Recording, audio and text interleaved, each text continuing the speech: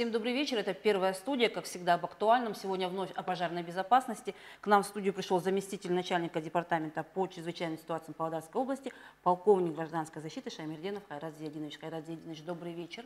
Добрый вечер. И вот если честно сказать, поводом позвать вас еще раз в студию, вот были две большие трагедии, которые на прошлой неделе были в стране.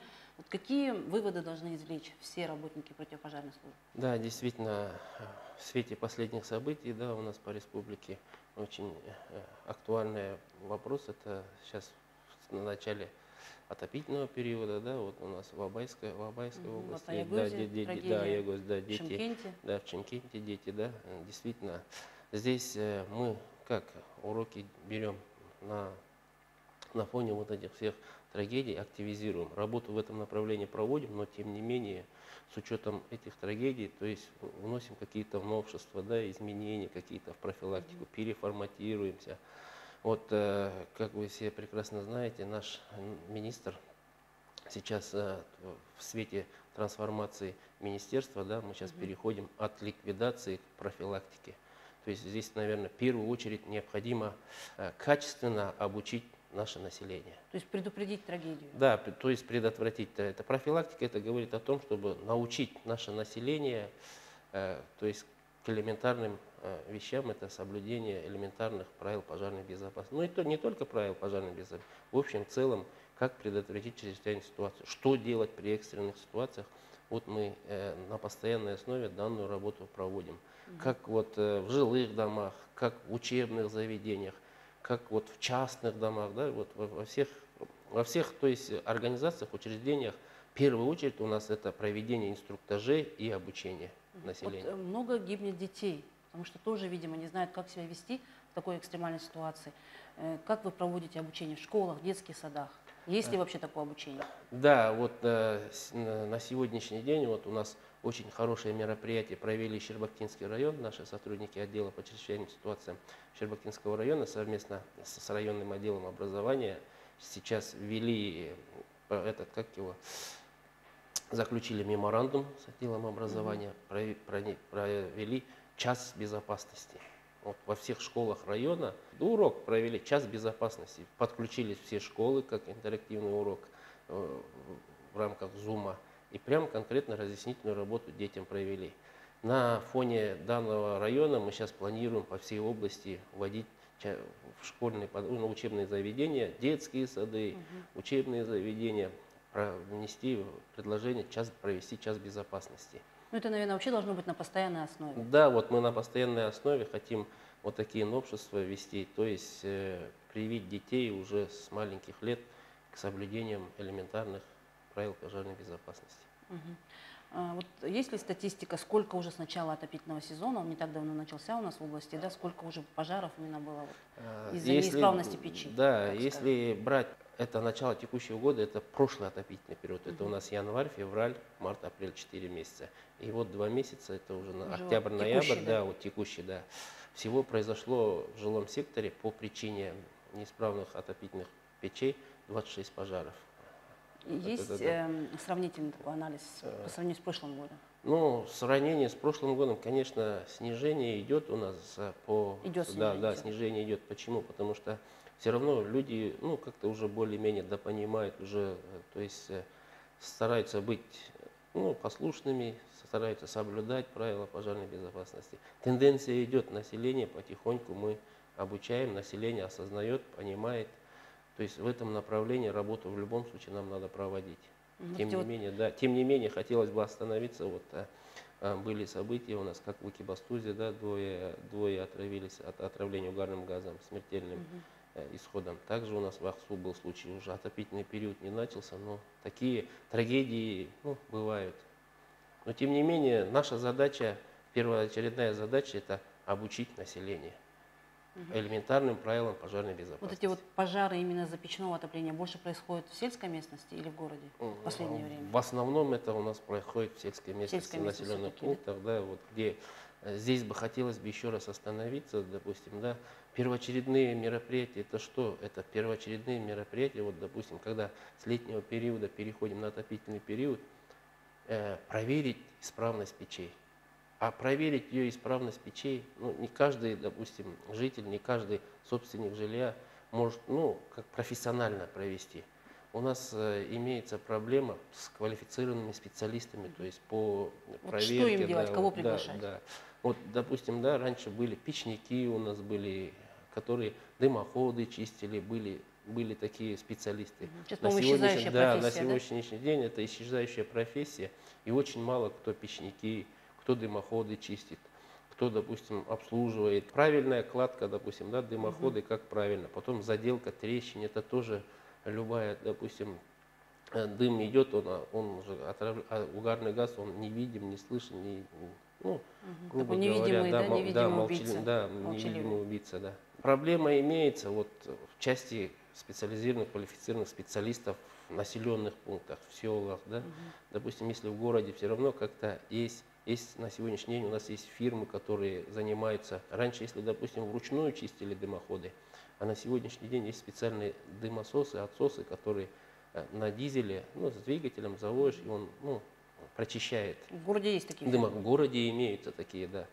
Э, В районах имеется, в а вот именно в отдаленных селах, вот где нет специализированных фирм, организаций, вот действительно там населению тяжело. Но тем не менее, в любом случае, в советское время, вот, что наши родители, да, что взрослые, они сами чистили, сами, я, насколько помню, вот, э, отец э, постоянно вот эти открывал колодцы дымоходов перед началом отопительного пе- периода, очищали, производили побелку, трещины, какие-то замазывали трещины. То есть э, смотрели, обязательно перед отопительным периодом, обязательно собственник своего жилья в целях своей безопасности должен проверить свою отопительную печь. Если же где-то сам не справляется, то уже то есть, через квалифицированных специалистов. Вот, в свою очередь, вы какую помощь можете оказать? Как часто вы выходите в рейды по проверке печного оборудования? Вот э, рейды мы на постоянной основе проводим, круглый год. Э, Отопительный период начался, тематика отопительный период.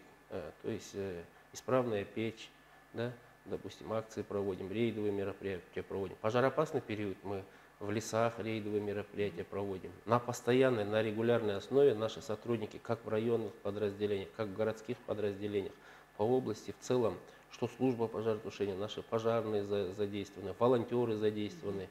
Э, Вот у нас в Экибастузе есть э, добровольные эти вот юные, юные наши спасатели есть. Мы их Помощники за- ваши, да? помощники наши задействуем, волонтеров задействуем.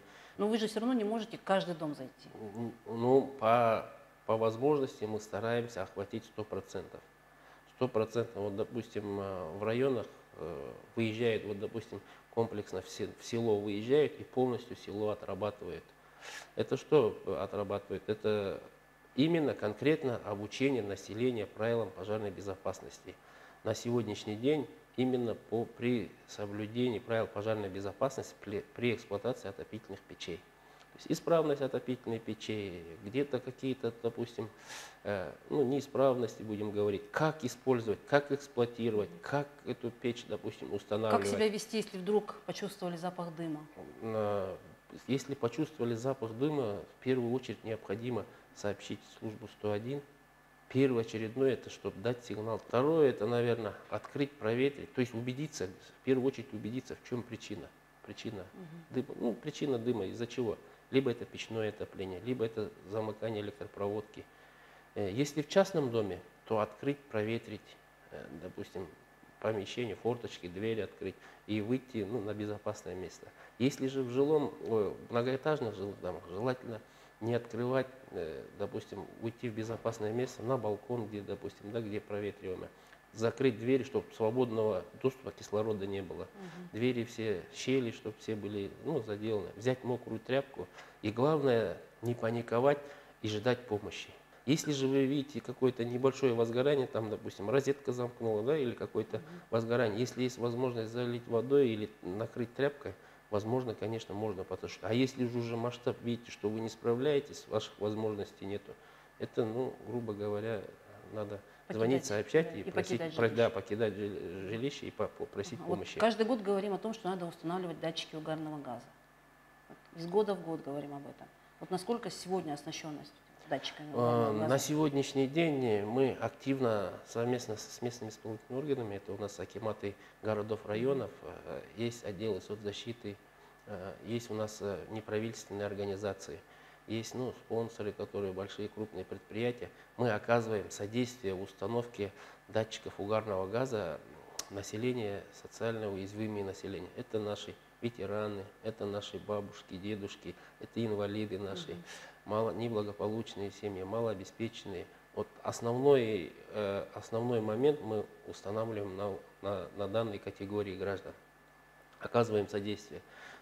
Устанавливаем датчики, осматриваем отопительную печь, э, притопочный лист, где если что надо замазать, помогаем замазать. Если необходимость нужно там очистить, э, помогаем по очистке дымохода. Но з- х- хотелось бы, э, пользуясь случаем, хотелось бы обратиться к нашему населению по возможности, у кого есть возможности же, действительно этот датчик себя зарекомендовал очень с положительной стороны. Он предотвращает от любого отравления угарного газа, он издает звуковой сигнал, и он аж на весь дом пищит, и действительно человек просыпается. Это, то есть Вовремя будет тел- просыпается. вовремя Мгм. просыпается. Отравление угарным газом это человек спит, уснул и не проснулся. Надышался, все, и в легкие Причем попали, очень да. быстро, да, И происходит? очень быстро, да, происходит. он. Поэтому хотелось бы обратиться к населению, приобрести данные датчики, оно везде... Сколько в они в стоят? Они же ведь недорогие. Они недорогие, в пределах, наверное, 4-5 тысяч. Оно везде есть, как по объявлению, как в организации, ну, продают, продают организации, которые занимаются. Любой, даже вот в интернете можно набрать и э, дат- датчики угарного газа. Они в доступном ну, продаже можно приобрести и поставить очень хорошая, удобная вещь. А установить не Поэтому- так тяжело? поэтому- да нет, там устанавливать на два болта только установить и установить. Можно в спальне установить или можно в районе отопительной печи установить. То есть сразу сигнализировал этот. Там две батарейки, элементарная датчик, два шурупа прикрутил стенки и все, и достаточно. Никакого подключения не надо, она работает на батарейках. И немаловажный факт, что этот датчик надо обслуживать. У нас многие, вот мы сколько устанавливаем датчиком, потом приезжаем, повторно проверяем, а он не работает, там батарейка села, или кнопку не включили, нажали, или он там, ну, засорился. То есть обслуживание тоже немаловажно, это обслуживание. Перед отопительным, А, люди должны да, обращать да, внимание еще. Да, обращать внимание. Вот сегодня вы перед отопительным периодом поставили этот датчик, установили. Отопительный период закончился, сняли его, перепроверили. Перед началом отопительного периода, опять Вновь же, да, поставили. батарейки поменяли, потому что батарейки же тоже они э, садятся и необходимо. Ну, это элементарно, да, как пульт от элементарно, да, телевизора, да, в принципе, пульт, да, да, то есть да. обслуживание немаловажно. Ну, вообще, мне кажется, такие датчики угарного газа должны в обязательном порядке устанавливаться. Это же ну, вопрос безопасности. Ну, да, здесь э, конкретно вот, э, конкретного, чтобы требования, чтобы конкретно требовать с населения, это конкретно нормативного документа нет. Это, то есть по желанию каждого, э, допустим, жителя или гражданина нашей, да. Но вы не выходите города. вообще с такими инициативами? Ведь это вопрос безопасности. Ну, мы на, на постоянной основе нормативные правовые акты включаем. Вот на сегодняшний день по многоэтажным жилым домам включили в нормативные документы э, установку автоматической пожарной сигнализации. Если раньше этого не было, то сейчас в нормативные правовые акты, в строительные нормы и правила включены, что вот многоэтажные жилые дома кварти- в квартирах должно быть оборудована автоматической пожарной сигнализацией. Но это больше касается есть- теперь новых домов, да? Да, получается? это касается новых домов. Вот сейчас вот будет новое есть строительство, стандарт да, уже, новые да? стандарты. Но у нас есть новые дома, где уже установлены, вот, э, которые последние новые дома, в них имеется автоматическая пожарная сигнализация. В квартирах устанавливаются датчики на реагирование на дым. Мгм. Вообще вот, ну, причины понятны. В частных домах это печное отопление. Вот в многоэтажных домах тоже очень много пожаров происходит. Там какая главная причина? Ну, В основном у нас в многоквартирных жилых домах это оставление пищи на плите. Это вот частая Вот причина. да? частое, да, вот частое, вот, ну, на ежедневной основе. Вот читаю, еще зарядные устройства оставляют в сети Ну, включены. бывает, да. И второе, это я вот первое сказал, в основ- основ- основные причины это оставление пищи на плите. То есть включил, забыл, уснул Ушел. или оставил, ушел на плитке пищи, ну, еду, кастрюлю с едой. Второе у нас это э, электропроводка. В основном вот электропроводка, электропроводка это в многоквартирных жилых домах, э, на площадках, то есть общедомов, ну, общедомовые эти электрические сети, э, очень устаревшие, да, не проводится ревизия в ветхом состоянии. Вот хотелось бы обратиться как к КСХ, так и жилищной инспекции, да, вот к нашим населению, кто в многоэтажных жилых домах проживает, э, чтобы особое внимание обра- обратили к электропроводке. А вы по ним проводите да, рейды или нет? да, проводим. Мы на постоянной основе с председателями КСК, ОСИ, сходы с населением. На постоянной основе у нас инспектора проводят данные сходы. Рекомендации даем. И, пользуясь случаем, хотелось бы вот населению обратиться, осо- особое внимание электропроводки на площадке. Особенно в Ос- старых домах, да, особенно понимаю? вот в пятиэтажных домах, там проводка советских времен.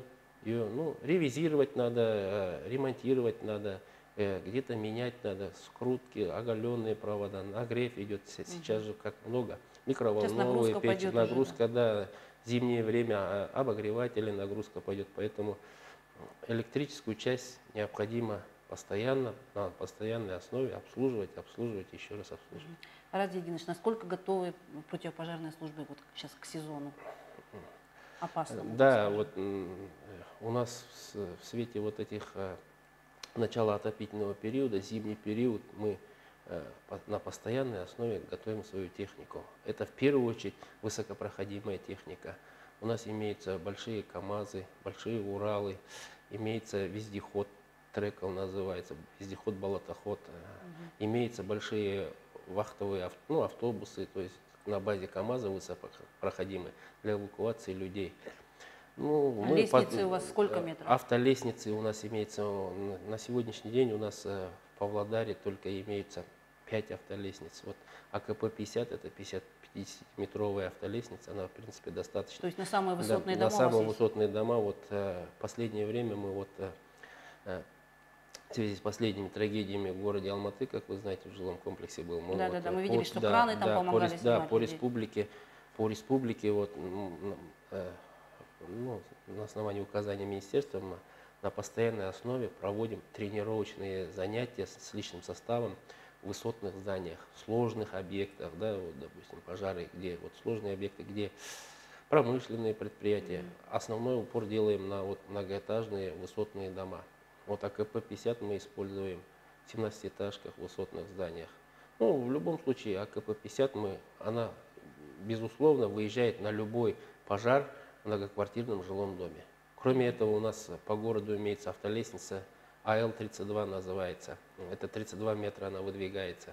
У нас, если 10-этажный дом, это 28 метров до 28, а у нас это 32 метра. Она выдвигается полностью на 10 этаж. Ну, у нас есть выше по 16 эвакуации. этажей же, по-моему, нету домов? 17-этажный, да, 17 17-этажный, это у нас в районе Химгородков, в районе гостиницы Сараха.